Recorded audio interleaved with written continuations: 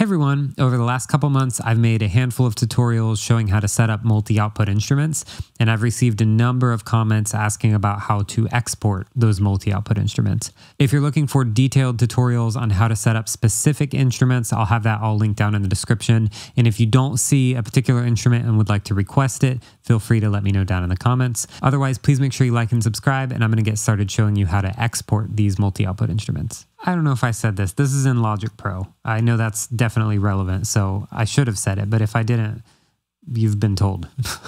okay, so it's the same method regardless of instrument, but I'm going to show you twice just to make sure it sticks and to show you that it doesn't matter what instrument you can do. So I'm starting with this drummer track here. It's just the regular like plus drummer, and it makes a whole track stack here. Um, so if you're using Logic stuff, stock, this is going to be like one for one tutorial here. Um, you're just going to highlight everything and you can either keep the main track highlighted or not highlight it. For the sake of this, I will highlight it. And once you have the area you want, if you want it to be cycle region, like just a specific spot, you can do that and just turn this on the spot you want. So I'm going to do this here and once you have it all set up how you want, go ahead and hit Command E to export. And you see I've already been doing it a couple times. So we'll just call this Logic Drummer.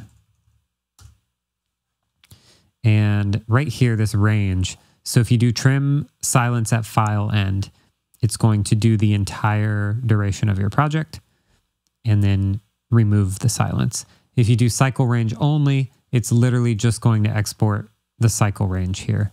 Um, so for this one, I'll do cycle range only to show you.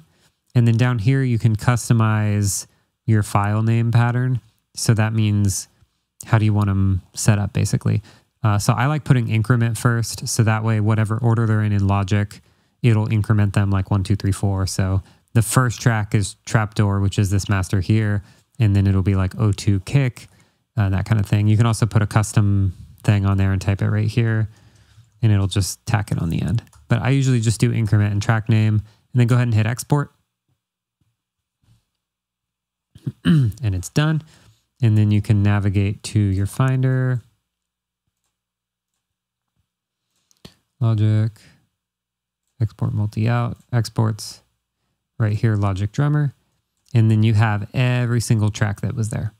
So I'll grab all of them and just to prove it, we can drop it in below here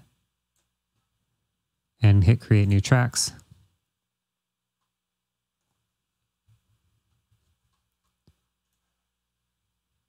And then now we have all of them. The one thing to note about doing it this way instead of the trim silence is that you'll notice some of our tracks are silent because nothing was going down that lane. So like kick one was not used at all. It was all kick two. So, you know, we have a bunch here, like we weren't using any of this stuff in the drum pattern. And so now we have empty audio files. So depending on what you need, you know, just take note of that. Um, so now we have trapdoor, which is the full beat, right? Same thing as this. Although that one sounds better. Think that just got normalized.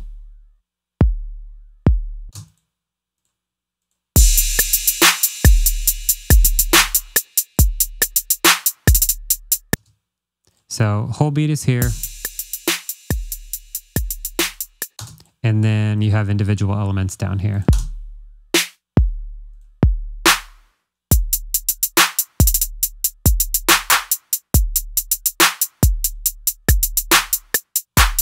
So it's that simple. And I'm going to show you how to do it a little more complicated way with a third party plugin. So for this one in particular, I'm using Addictive Drums. But as long as you get it set up properly in whatever plugin you're using, the back half of this tutorial will be the same, if that makes sense. So I will go ahead and get rid of all of this. Now we're switching to country, kind of country. So let me undo this so I can show you setting it up just in case, but it'll be a quick version.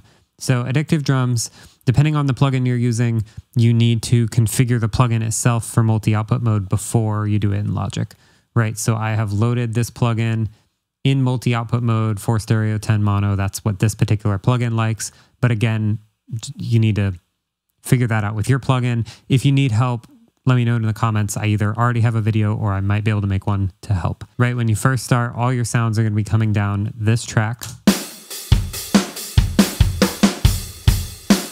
And what you need to do is make sure you're in the mixer because if you're in this detail view, come on. If you're in this detail view, you won't see the option. So only when you're in the mixer, you see this plus. And I'm going to hit all the pluses because I want all the channels. And so now we have the 10 mono, 4 stereo. One, two, three, four. It's kind of weird.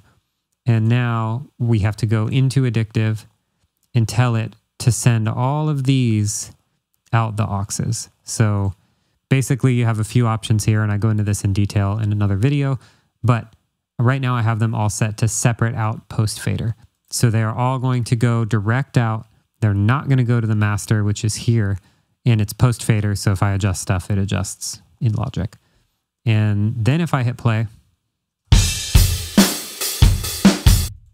you have all the things here. Right.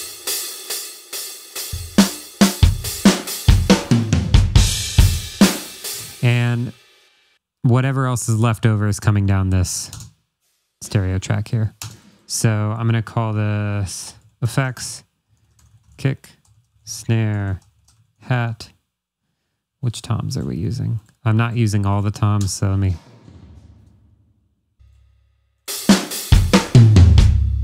Okay, so we'll just call this rack and floor. And this is probably overheads. Yep. Overheads and room, and I think this is like a parallel compression bus. Let's confirm. Okay, so now we have all these. If you hit export now, this might be where some people lose it. Uh, if you hit export now, you're only going to get this.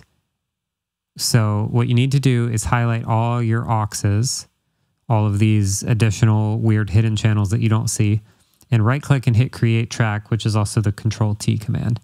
When you do that, it adds tracks to your main window area, your arrangement editor, uh, whatever it's called. What's it called? Main window. now you can hit play and you'll see it all coming through.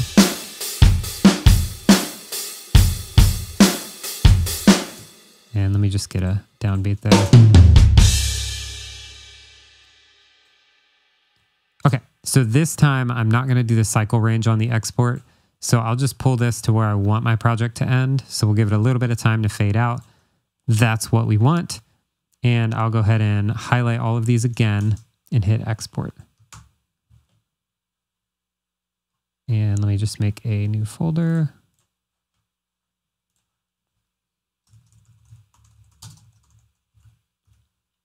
Okay, so now we're going to switch the range to trim silence at file end and go ahead and hit export.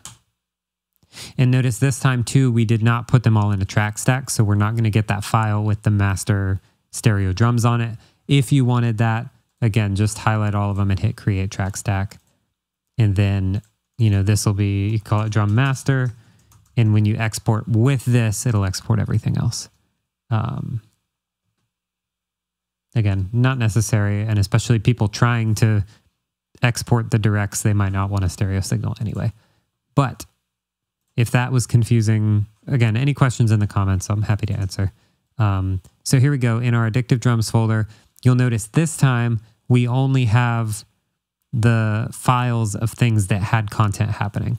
So aux4, aux7, aux9, 10, and 11, those were for like toms or flex channels, and they're not being used. So the nice thing about trim silence is it just did not export those files or it deleted them or whatever. But point is they're not there. So that helps keep things a little cleaner. And then here we go.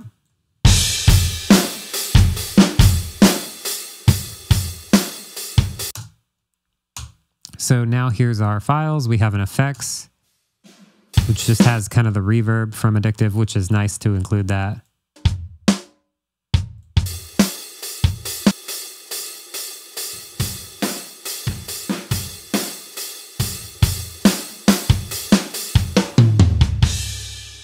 Beautiful. You know, then you can pan them and now you're just working with audio, which is great, honestly. And it, sometimes it's nice to just export it out and have it be audio for when you're mixing so you're not dealing with MIDI while you're mixing.